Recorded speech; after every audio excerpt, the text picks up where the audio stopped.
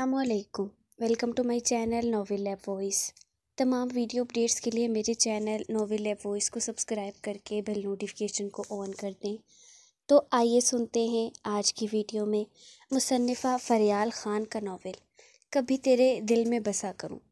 Episode number one रात के करीब बारह, साढ़े बारह का वक्त था।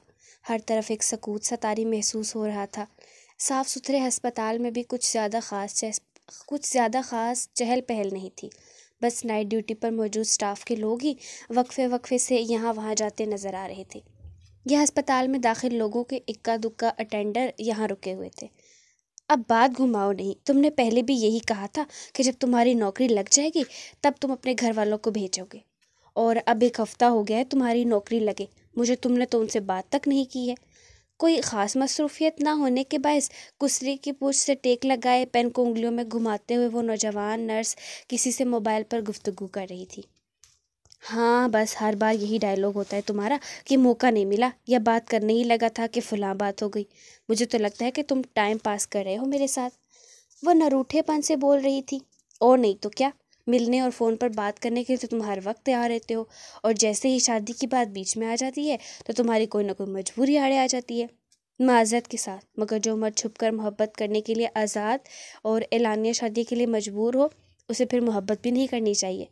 या ये कहना ज़्यादा बेहतर होगा कि मोहब्बत के नाम पर किसी के जज्बात से खेल कर टाइम पास नहीं करना चाहिए। वो आज खासी खफा लग रही थी मुखालिफ पर। न जाने और कितनी देर ये सिलसिला जारी रहता अगर अचानक अस्पताल में शोर ना उठता। कोई है? जल्दी आओ। आग लग गई है, जल्दी आओ। एक दूसरी नर्स हवास बाख्ता से चीखती हुई कॉरिडोर में आई। मैं बाद में बात करती हूँ। उसने उजलत में कहकर लाइन काटी और बाकी लोगों के साथ वो भी भागती हुई इस तरफ़ आई जहाँ रश लगना शुरू हो गया था। ये एक प्राइवेट रूम था जिसके खुले दरवाजे से नज़र आता था। जो मंज़र सबने देखा, उससे सबके होश उड़ गए। सामने एक लड़की को पूरी तरह से आग ने अपनी लपेट में लिया हुआ था। वो लड़की मरीज़ों के मखसूस नीले लिबास में मलबूस थी, जो पूरी तरह जल चुका था। लड़की यहाँ वहाँ चीखती चिल्लाती चीज़ों से टकरा रही थी और झूले में लेटा बच्चा भी शोर शराबे से डर के भिलक भिलक कर रोने लगा था, जैसे इस जलती हुई लड़की ने एक दिन पहले जन्म दिया था। सब लोगों से जितना मुमकिन था आग बुझाने की कोशिश में लग गए, पर आग काफ़ी फैल चुकी थी। काफ़ी मुश्किल से आग पर काबू पाया गया। लड़की बुरी तरह झुलस कर बस एक जले हुए गोश्त का लोथड़ा रह गई थी। उसके अदल असल खदुखाल खो चुके थे और उसकी बस चंद साँसें ही बाकी लग रही थी, जिसे सब फ़ौरन एमरजेंसी में लेकर भागे। अब क्या ढूंढते हुए, अब क्या ढूंढते हो जले हुए कागज़ की राख से? वो फसाना ही जल गया जिसका उनवान कभी तुम थे। फजर की अजान होने में भी आधा घंटा था, इसलिए मस्जिद खाली थी। क्योंकि ये मस्जिद खुली ही रहती थी, इसलिए वो अक्सर, बल्कि रोज़ ही तहजद के वक्त यहाँ आ जाता था और फजर तक एक कोने में बैठ कर रो रो कर ना जाने रब से क्या माँगता रहता था। आप जानते हैं मौलवी साहब इस लड़के को? ये अपने इलाके का भी नहीं है, मगर अक्सर मैंने उसे यहाँ ऐसे ही देखा है। पता नहीं कहाँ से आता है और कौन है। एक आदमी ने उस लड़के की जानब इशारा करते हुए ताज्जुब खेज़ अंदाज में पूछा, शायद शर्मिंदा है? उन्होंने पुरसोच अंदाज में ठहरा हुआ जवाब दिया। आपने कभी उससे पूछा नहीं कि ये कौन है और यहाँ ऐसे क्यों बैठा रहता है? आदमी ने तजस्स के मारे कुरेदा। नहीं, ये उसका और अल्लाह पाक का मामला है। हम कौन होते हैं दखल अंदाजी करने वाले? दिलों के हाल तो अल्लाह पाक ही बेहतर जानता है, बस उसकी जो भी मुश्किल है, अल्लाह पाक आसान करे। वह हनूज लड़के को देखते हुए दुआ गु अंदाज में बोले, आमीन। आदमी ने भी गहरी सांस लेते हुए बात ख़त्म की, जबकि लड़के का सर दोनों हाथों में झुका हुआ था और रोने के बायस जिसम हनूज हल्के हल्के हिल रहा था। कभी यूँ भी आ मेरे रूबरू, तुझे पास पाकर मैं रो पड़ूँ। मुझे मंजिल इश्क पर यकीन हो, तुझे धड़कनों में सुना करूँ। कभी सजा लूँ तुझे पलकों पर, कभी तस्बीहों में पड़ा करूँ। कभी चूम लूँ तेरे हाथों को, कभी तेरे दिल में बसा करूँ। कभी यूँ भी आ मेरे रूबरू, तुझे पास पाकर मैं रो पड़ूँ। उस छः साल मासूम बच्चे समेत सारा आलम नींद में डूबा हुआ था, जो अपने बाप की तस्वीर सीने से लगाए सो रहा था। लेकिन उसके पहलू में लेटी उसकी माँ की आँखों से सालों हुए नींद रूट चुकी थी। उसने आहिस्ता से बच्चे के हाथ से फ़ोटो फ्रेम निकाला। उसने आहिस्ता से बच्चे के हाथ के नीचे से फ़ोटो फ्रेम निकाल कर साइड टेबल के दराज में रख दिया। बच्चे की पेशानी पर आए बाल दुरुस्त किए। उसका कंबल ठीक किया और उसके गाल पर हल्का सा बोसा देकर वो भी उस पर हाथ डालकर फिर से सोने की कोशिश करने लगी, मगर नींद की जगह उसकी आँखों में फिर से नमी उतर आई। फिर वही याद आने लगे हैं, जिन्हें भूलने में ज़माने लगे हैं। करवटें बदल बदल कर अब वो थक चुका था, मगर नींद की तो शायद उसकी आँखों से कोई दुश्मनी हो गई थी, तभी तो उस पर मेहरबान ना हो रही थी। वो दोनों हाथों को सर के नीचे रख कर छत को तकने लगा। सोने की कोशिश कर रहा था, तब भी उसका ख्याल आ रहा था। अब जाग रहा था तब भी उसकी यादें पीछा नहीं छोड़ रही थी। कितना अरसा गुजर चुका था, पर वो अपनी ज़िंदगी में आगे बढ़ ही नहीं पा रहा था। ऐसा नहीं था उसने खुद भी आगे बढ़ने की, उसे भूलने की कोशिश न की हो। उसने उसकी यादों से पीछा छुड़ाने के लिए, उसको भूलने के लिए ख़ुद को बेानतहा मसरूफ़ कर लिया था। पर मसरूफ़ियत भी तो सिर्फ़ दिन भर होती है ना, फिर रात भी तो आनी होती है, और आतिश हिज में जलने वालों के लिए रात किसी क़्यामत से कम नहीं होती। रात कटती रही, चाँद ढलता रहा। आतिश हिज्र में कोई जलता रहा। घर की तन्हाइयाँ दिल को डसती रही, कोई बेचैन करवट बदलता रहा। आसो उम्मीद की शम्मा रोशन रही, घर की दहलीज कोई तकता रहा। रात भर चांदनी गुनगुनाती रही, रात भर कोई तनहा से सकता रहा। अश पलकों पर आके बिखरते गए, नाम लब पर तेरा लरसता रहा। आज फिर रात हो गई बसर, आज फिर कोई खुद से उलझता रहा। अम्मा, मेरे वो नए वाले खुद से कहाँ हैं जो पिछले हफ़्ते बुध बाज़ार से लिए थे? अरीबा हजरा सहन में रखे चप्पलों के स्टैंड का जायज़ा लेकर दोबारा छोटे से लाउंज में आई। रुको, मैं देती हूँ। फरह दुपट्टे के पल्लू से हाथ साफ़ करती किचन से निकल कर आने के बाद उसके और अपने मुश्तरका कमरे में आ गई। वो भी उनके पीछे पीछे आई। उन्होंने पलंग पर बिछी, नीचे लटकती हुई चादर को ऊपर उठाया और झुक कर पलंग के नीचे से एक शॉपर निकाला। शॉपर की गिरा खोलने पर अंदर से एक और शॉपर निकला और उस शॉपर से बिलाखिर उसके मैरून खुद से निकल आए। या अल्लाह अमीन को इतना छुपा कर रखने की क्या ज़रूरत थी? अरीबा ने बेसाख्ता अपना सर पीठा हाँ बाहर रख देती ना, ताकि तू गली मोहल्ले में आने जाने पर पहन के बराबर कर दे और कहीं अच्छी जगह पर पहन कर जाने के लिए कोई ढंग की चीज़ ना बचे। उन्होंने भी दो बदो जवाब देते हुए खुद से ज़मीन पर रखे। ये साढ़े तीन सौ की सेल वाले खुद से पहनकर भला कौन सी रेड कारपेट सेरेमनी में जाना था मुझे? उसने तंजिया अंदाज में दोनों हाथ कमर पर रखे। शुक्र करो कि इतना भी है, वरना वरना कुछ लोगों को तो ये भी नसीब नहीं होता। पता है अम्मा, तुम्हारा घिसा पिटा डायलॉग उसने बेजारी से उनकी बात उचक कर मुकम्मल की और पलंग पर पड़ा स्याह बाया उठाकर पहनने लगी। इतनी नाशुकी अच्छी बात नहीं होती है, अरीबा। अगर अल्लाह के अता पर इस तरह नाक मुँह बनाया जाए तो वो नाराज़ हो जाता है। उन्होंने तासुब से समझाना चाहा, अम्मा, कौन सी नाशुक्री कर दी मैंने? अब वो पलंग पर सर से रेड स्काफ उठाकर एक साफ़ सुथरी मगर पुरानी सिंगार में इसके सामने आ गई। जो मिल जाए उस पर नुक्स निकालने को नाशुक्री ही कहते हैं। उन्होंने ध्यान दिलाया, मगर कोई जवाब देने के बजाय वो शीशे में देखकर स्कार्फ बांधती रही। अभी भी अच्छा खासा तुम्हारे अबू की पेंशन और मेरे सिलाई के पैसे मिलाकर गुजारा हो जाता है। घर छोटा सही, मगर अल्हम्दुलिल्लाह हमारा अपना है। कुछ अरसे बाद कोई अच्छा रिश्ता मिलते ही तुम्हारी शादी कर दूँगी मैं। फिर क्या ही ज़रूरत है बिला वजह नौकरी ढूँढने जाने की। अल्लाह बख्शे, अभी तुम्हारे अब्बू ज़िंदा होते ना तो कभी तुम इस तरह घर से बाहर ना निकलने देते। उसे खामोश पाकर वो फिर अपनी पुरानी बात दोहराने लगी। अम्मा, ज़रूरी तो नहीं है ना कि इंसान सारी ज़िंदगी बस जो है उसे ही पकड़ कर लकीर का फ़कीर बना बैठा रहे। हालात बदलने के लिए कम अज़ कम कोशिश तो करनी चाहिए। उसने भी स्काफ बाँध कर हमेशा वाली दलील दी। कौन से हालात बदलने हैं तुझे? अभी क्या फाके हो रहे हैं हमारे घर? वो उसकी बात पर तप गई। सिर्फ़ खाना पीना ही ज़िंदगी नहीं होती अम्मा। उसने पलक पर रखा पर्स कंधे पर लेते हुए कहा और खुद से पहनने लगी। तो फिर क्या होती है ज़िंदगी? उन्होंने तीखे अंदाज में जानना चाहा। ज़िंदगी वो होती है जिसमें छोटी छोटी ख्वाहिशों के लिए तरसना ना पड़े। उसने अपना फ़लसफ़ा पेश किया और ख्वाहिशें वो होती हैं जो मरते दम तक पूरी नहीं होती। एक पूरी होती है तो दूसरी सर उठा लेती है। इसीलिए ख्वाहिशों के पीछे भागने के बजाय उन्हें लगाम लगा लेनी चाहिए। इससे पहले कि ये तुम्हारी लगाम अपने हाथ में लेकर तुम्हें थकाना शुरू कर दें। उन्होंने भी तुर्की बदर की जवाब दिया तो वो खफगी से देखने लगी।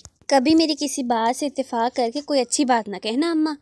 उसने उसी अंदाज में शिकवा किया अच्छा छोड़ ये बातें। चल, जल्दी से नाश्ता कर। पराठे बना लिए हैं मैंने। उन्होंने खुद ही मौजू बदला। अभी नहीं कर सकती, देर हो रही है। वापस आकर खा लूँगी। वो उजलत में कहते हुए कमरे से निकली। अरे, लेकिन खाली पेट घर से नहीं जाते? वो भी कहते हुए उसके पीछे आई। मेरे पर्स में बिस्किट है, बस मैं खा लूँगी। अल्लाह हाफिज़, मेरे लिए दुआ करना। वो बुलंद आवाज़ से कहती हुई बाहर निकल गई। या अल्लाह, इस बेवकूफ़ की हिफाजत करना। उन्होंने जेर लब फ़िक्रमंदी से दुआ की। सुबह होते ही मंसूर विला के आलीशान ड्राइंग रूम में लजीज नाश्ता सजना शुरू हो गया था जिसे खाने वाले सिर्फ़ तीन लोग थे। पहली मिसेस गोहर ज़ाहिर जो टेबल के गिर्द बैठी मोबाइल में मसरूफ़ थी। दूसरे ज़ाहिर मंसूर जो कत्थई थ्री पीस सूट में तैयार ब्रीफ केस लेकर ही डाइनिंग रूम की तरफ़ आ रहे थे। और तीसरा उन दोनों का इकलौता बेटा आर्य मंसूर जो अभी तक बेड पर ओंधा लेटा सो रहा था। सारेम, अभी तक जागा नहीं गोहर? जाहिद मंसूर ने अपनी सिंगल कुर्सी खींच कर बैठते हुए पूछा, नहीं, कल दोस्तों के साथ किसी गेट टुगेदर में गया हुआ था तो वहाँ से लेट वापस आया था। उन्होंने मोबाइल स्क्रीन ऑफ़ करके उसे टेबल पर रखते हुए जवाब दिया, अगर आप कहती कि कल वो दोस्तों के साथ आवारा गर्दी करने के बजाय जल्दी घर आ गया था, तब मुझे ज़्यादा हैरत होती। अपने बेटे की लापरवाही से नाला ज़ाहिर मंसूर ने कहते हुए ब्रेड उठाकर अपनी प्लेट में रखी, जबकि गौहर बिना कुछ बोले उनके ग्लास में जूस निकालने लगी। मैं फ़िलहाल ऑफ़िस नहीं जा रहा, बल्कि शेराजी ग्रुप्स की एक ज़रूरी मीटिंग अटेंड करने जा रहा हूँ। ऑफ़िस दोपहर तक आऊँगा। आप ज़रा अपने लाडले को जगा कर कह दें कि आज जल्दी ऑफ़िस चला जाए और इंटरव्यू के लिए कुछ लोग आएँगे, उन्हें डील कर ले। उन्होंने संजीदगी से बताकर जूस का ग्लास लबों से लगाया। ठीक है, मैं कह दूँगी उसे। उन्होंने इस बात में सर हिलाया। थोड़ी देर बाद उल्लस में नाश्ता करके साहिद मंसूर जा चुके थे, जबकि उनके हुक्म की तामील करने के इरादे से गोहर सारिम के कमरे में आई। हसब तो कमरे की लाइट्स बंद थीं एसी ऑन था और खिड़की पर लटके मोटे पर्दों ने भी धूप को अंदर आने से रोक कर कमरे में अंधेरा कर रखा था, जिसके बायस वो बेड पर ऊंधा लेटा, मज़े से सो रहा था। गोहर ने पहले रिमोट से एसी बंद किया और फिर बड़ी सी खिड़की के पर्दे समेट दिए, जिसकी दूसरी जाने बेताब सी धूप फ़ौरन अंदर लपकी और आगे बेड पर सोए सारम से सरता पा लिपट गई। यकदम तेज़ धूप पड़ने के बाद सारम ने नागवारी से अपनी शहद रंग आँखें खोली, जिन्होंने धूप में फैला तासुर कांच सा दिया। जबकि खड़े नए नक्श वाले चेहरे पर सलीके से मौजूद शेव और माथे पर बिखरे बालों के साथ वो पहली नज़र में कोई मगरूर शहजादा सा लगा। गुड मॉर्निंग, वो खुश दिली से बोली। ऐसी मॉर्निंग गुड नहीं होती, मॉम, जिसमें ज़बरदस्ती गहरी नींद से जगाया जाए। उसने सख्त बेजारी से शिकवा किया। अगर नहीं जगाती तो मॉर्निंग, इवनिंग सब बेड हो सकती थी तुम्हारी। वो कहते हुए बेड के करीब आई। मतलब? वो समझा नहीं। मतलब तुम्हारे डैड ऑर्डर देकर गए हैं कि आज तुम्हें ऑफ़िस जल्दी पहुँच कर कुछ लोगों का इंटरव्यू करना है। वो खुद किसी मीटिंग में गए हैं, दोपहर तक ऑफ़िस आएँगे। उन्होंने वजाहत की तो उसकी नींद से बोझल आँखें पूरी खुल गई। फिर से इंटरव्यूज़ मैं पागलों के साथ दिमाग खपाना पड़ेगा? उसने कोफ से कहते हुए सेट बेड पर परखा, क्योंकि घंटों मुख्तलिफ़ लोगों से एक ही किस्म का सवाल पूछने में और आगे से वही घिसा पिटा जवाब मिलने से उसकी जान जाती थी। और अब मरता ना, मरता क्या ना करता के तहत उसे ये करना ही था। मैंने कुछ नहीं किया। मैंने कुछ नहीं किया। उमर गहरी मीठी नींद में छा जब किसी ने उसे इतनी ज़ोर से लात मारी कि अपने सिंगल बेड से नीचे गिरते हुए हड़बड़ाकर बोला, नहीं किया तो अब बाथरूम जाके कर और तैयार हो जल्दी से। लेट हो जाएँगे हम यूनी से। उसके सर पर खड़े अरहम ने बरहमी से हुक्म दिया। ऐसे उठाते इंसान को नींद से? उमर ने होश ठिकाने आने के बाद उठकर खड़े होते हुए शिकवा किया। नहीं, आवाज़ देकर ही जगाया जाता है मगर इंसान को। तो उन लोगों में से है जिनके लिए किसी ने कहा है कि लातों के भूत आवाज़ से नहीं उठते? उसने इसी अंदाज से दोनों हाथ कमर पर रखे। जी नहीं, ये कहावत है कि लातों के भूत बातों से नहीं मानते। उसने भी दो बदो होकर तस्ही की। तो ना बातों से मानता है और ना जागता है। इसीलिए फजूल की बहस छोड़ और जल्दी जाकर तैयार हो। आधा घंटा तो बाथरूम में लगता है तुझे। वो उसी तरह कहते हुए बाहर की जाने बढ़ा। तू ना बातों से मानता है और ना जागता है। इसलिए ये फजूल की बहस छोड़ और जल्दी जाकर तैयार हो। आधा घंटा तो बाथरूम में लगता है तुझे। वो इसी तरह कहते हुए बाहर की जाने बढ़ा। बाथरूम में तबरेज तो नहीं है? उमर ने पीछे से हाँक लगाई। नहीं, वो अंडे डबल रोटी लेने गया है नाश्ते के लिए। अरहम उसे बुलंद आवाज़ से जवाब देता, लाउंज से मुतसिल बालकनी में आ गया ताकि तबरेज़ को देख सके जो अभी तक नाश्ते का सामान लेकर नहीं लौटा था। आठ मंजिला बिल्डिंग के चौथे फ्लोर पर मौजूद अरहम ने जैसे ही बालकनी से नीचे झांका तो वही हुआ जिसका उसे खदशा था।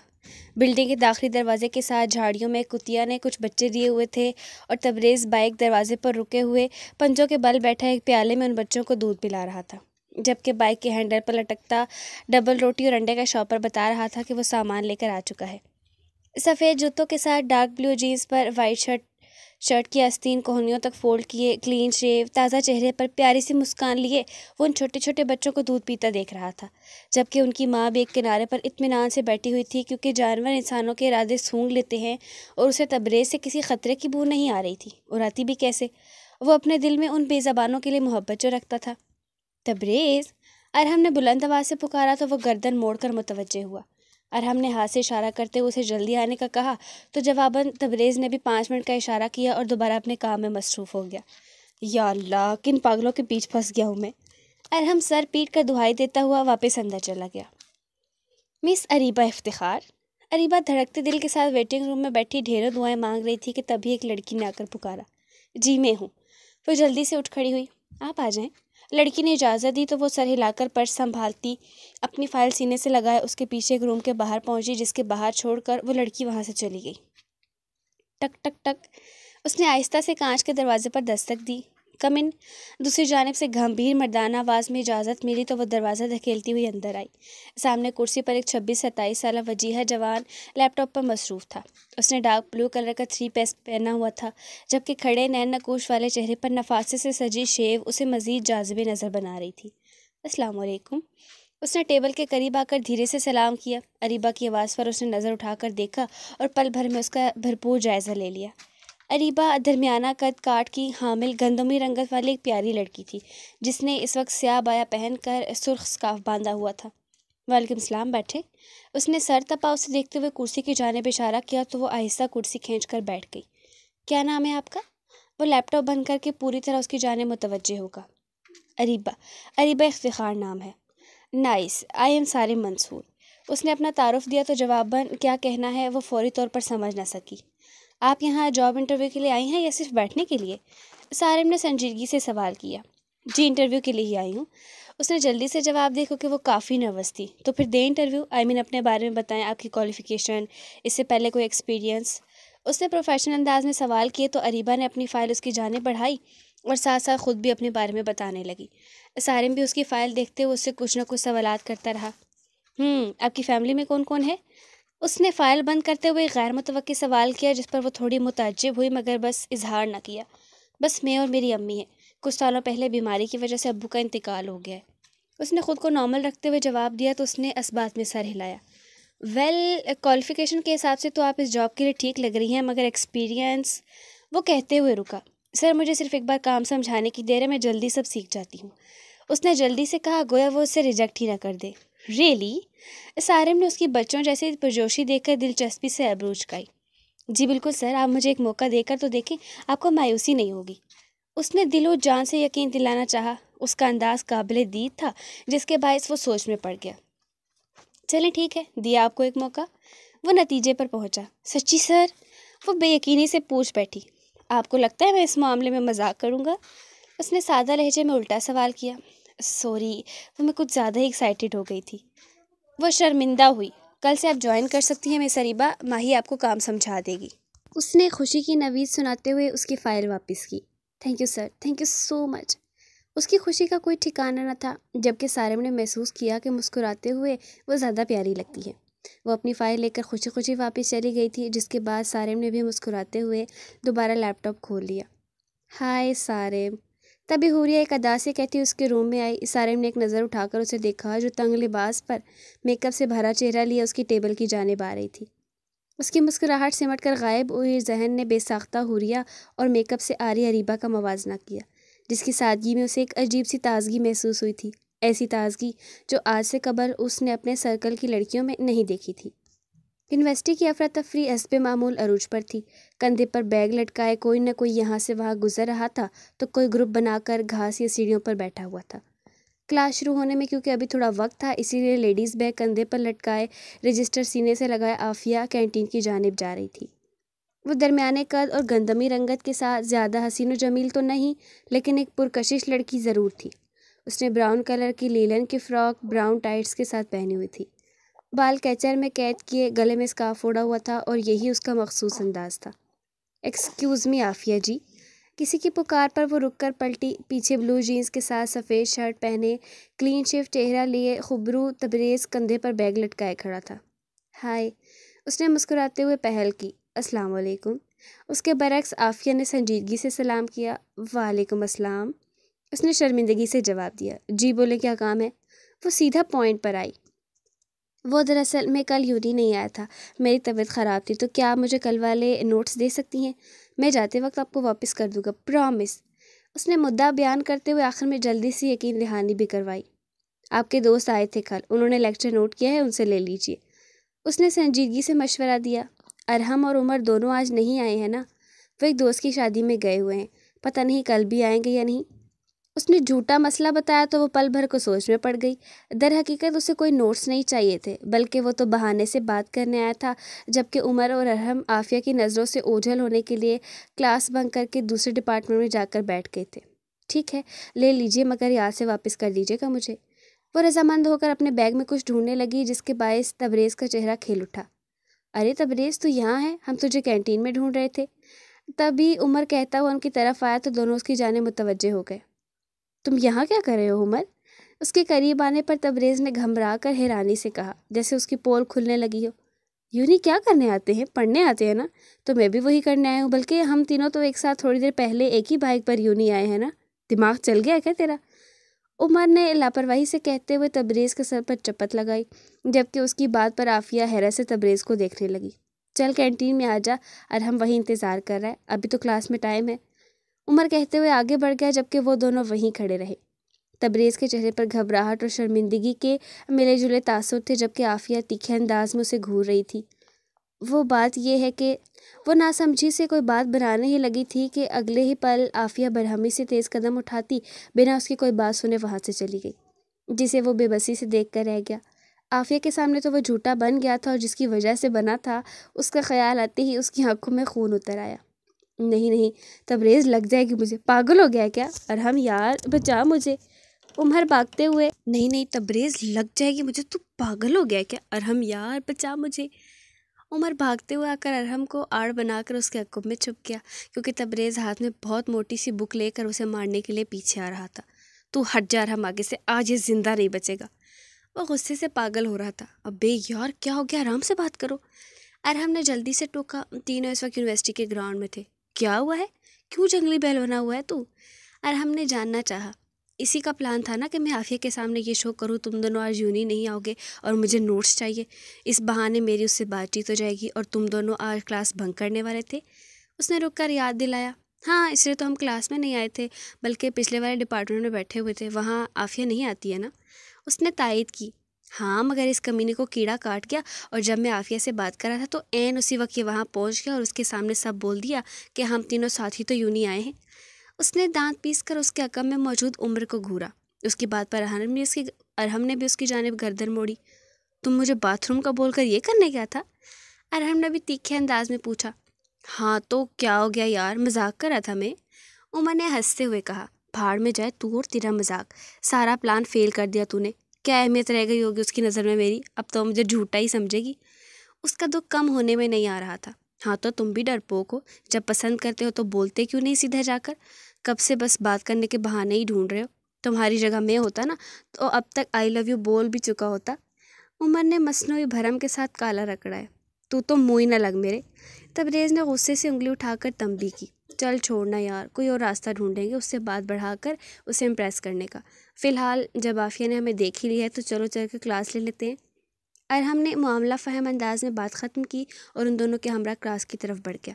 जिस दौरान उमर ने तबरेज़ को तंग करके लुत्फ़अंदोज़ होने का सिलसिला तर्क नहीं किया था। अम्मा अम्मा! अरीबा खुशी से चिल्लाती हुई घर में दाखिल हुई थी। या अल्लाह रहम, क्या हो गया? फरहत दहल कर किचन से बाहर आई। अम्मा मुझे नौकरी मिल गई है। उसने उन्हें बाजू से पकड़कर गोल घुमाया। है, सच? उन्हें यकीन ना आया। हाँ कल से ज्वाइन करना है मुझे। उसने तायद की। शुक्र अलहमदिल्ला तो ज़्यादा ख्वार नहीं होना पड़ा। उन्होंने बेसाख्ता शुक्र अदा किया। देखा, मैं कहती थी ना, कोशिश करने वालों का तो कुदरत भी साथ देती है। उसने फ़ख्र से याद दिलाया। अब इस मैना को बताऊँगी मैं। खुद एक छोटी सी फैक्ट्री में पैकिंग की नौकरी क्या लग गई तो ख़ुद को तोप समझने लगी थी। कितना कहा था उससे, मुझे भी अपने साथ लगवा ले। मगर कैसे साफ़ कह दिया था उसने कि हमारी फैक्ट्री में मज़दीद बेरोज़गारों के लिए जगह नहीं है। अब मैं बताऊँगी उसे कि जॉब होती क्या है। उसने तीखे अंदाज में आँखें सुखेड़ी। बुरी बात, किसी पर अपनी बर्तरी नहीं जताते। अल्लाह पाक को ये पसंद नहीं। उन्होंने फ़ौरन टोका, मगर अम्मा, मेरी नौकरी सच में उस आठवीं फेल मीना से बहुत अच्छी है। मुझे किसी फैक्ट्री में मेहनत नहीं करनी, बल्कि ऑफ़िस में बैठ कर काम करना है। मेरा बी कॉम बेकार नहीं गया। उसने अपनी बात पर ज़ोर दिया। हमें जो भी मिलता है, उसमें हमारा अपना उतना कमाल नहीं होता जितनी अल्लाह की मेहरबानी होती है। इसलिए कुछ मिल जाने पर इतराने के बजाय अल्लाह का शुक्र अदा करना चाहिए, क्योंकि वह शुक्र करने वालों को और देता है। अब कि उन्होंने रसान से समझाना चाहा? जवाबन वो कुछ ना बोली। अच्छा अब छोड़ इन बातों को। चला मुँह हाथ धोकर आजा, खाना खा ले। सुबह से खाली पेट गई हुई थी। उन्होंने मौजू बदलते हुए फ़िक्रमंदी से कहा, माँ थी ना, जो औलाद से लाख खफा हो जाए, मगर फ़िक्र करना नहीं छोड़ती। आफिया डुप्लीकेट चाबी से अपने 120 गज के घर का दरवाज़ा खोलकर अंदर आई, जहाँ हसब मामूल सन्नाटा हो रहा था। वो संगे मरमर का सहन अबूर करती कुछ आधा लॉन में आई तो वहाँ सोफे पर ही उसे नौरीन बैठी मिल गई, जो वीडियो कॉल पर यकीन सानिया से बात कर रही थी, क्योंकि ये तो दो पसंदीदा मशगले थे उनके। पहला, आफिया की शादी की बात करना, दूसरा, सानिया से बात करना। अरे ये लो, आफिया भी आ गई। इधर आफिया, देखो सानिया की कॉल है। उन्होंने पास बुलाया। कल ही बात हुई थी मम्मा, आप ही से मेरी। और वो लाहौर से कॉल करती हैं, लंदन से नहीं, जो आप हर बार इतनी एक्साइटेड हो जाती हैं। उसने बैग और रजिस्टर सोफे पर रखते हुए जवाब दिया, माँ के लिए औलाद हर सूरत अज़ीज़ होती है, फिर चाहे वो लंदन में हो या लाहौर में। उन्होंने भी दो बदो जवाब दिया। वो कुछ कहने के बजाय उनके बराबर में आकर बैठ गई। कैसी हो आफिया? सानिया उससे मुखातिब हुई जो मोबाइल एक तरफ़ स्टैंड पर रखे, अपनी एक साल बेटी को सिरला खिलाने के साथ साथ उनसे बात भी कर रही थी, जबकि उसका चार साल बेटा पीछे ड्रेसिंग टेबल पर उसके मेकअप का बेड़ागर करने में मसरूफ़ था। मुझे छोड़े आप ही, ज़रा अपने साहबजादे पर ध्यान दे पीछे, देखें आपका मेकअप तबाह कर रहा है। उसने नौरीन के कंधे पर सर रखते हुए मज़े से ध्यान दिलाया। आलियान, कितनी बार कहा है मेरी चीज़ों को मत छिड़ा करो। उसकी बात पर अगले ही पल उसने भी अपने बेटे की खबर ली। खाने में क्या बनाया ममा भूख लग रही है।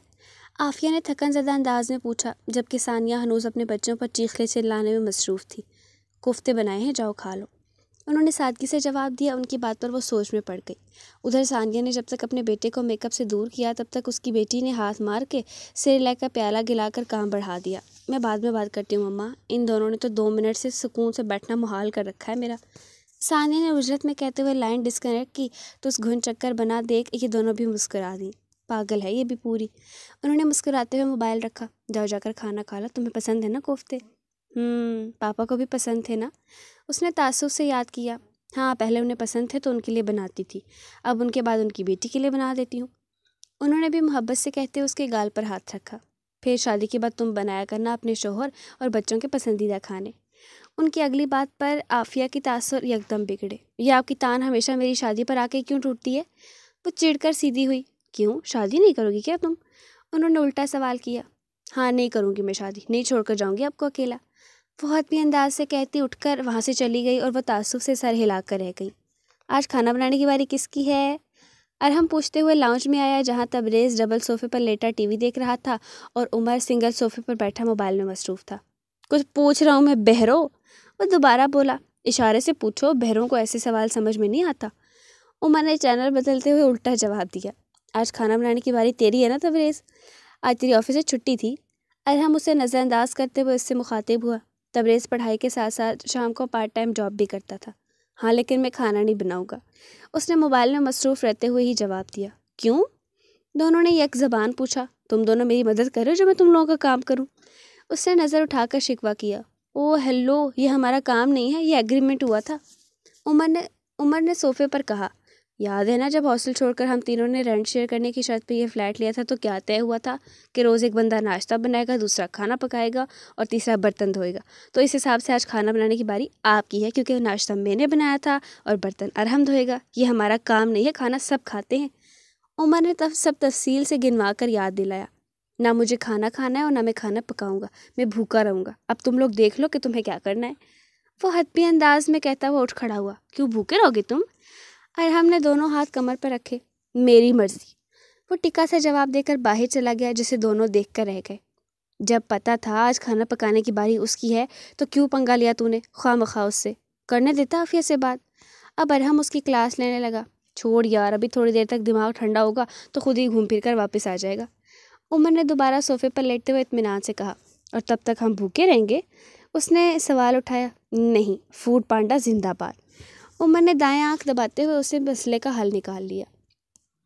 रात के वक्त आलिशान बंगले में जारी रंगारंग पार्टी अरूज पर थी, जहाँ बड़े बड़े बिजनेसमैन शरीक थे। कुछ सिर्फ़ कारोबारी मामला पर बातचीत करने यहाँ आए थे तो कुछ शराब व शबाब से मुजैन महफिल का भरपूर मज़ा ले रहे थे, जहाँ पर हर तरफ़ होशरुबा लिबास तन किए मसनू हसीनाएँ अपनी अदाओं से उन हजरात का दिल लुभाने की कोशिश में थी।